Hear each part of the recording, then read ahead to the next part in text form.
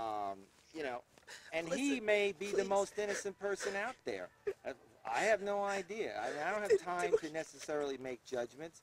I'm just making a, a blanket judgment. Uh, and they have said that in the past.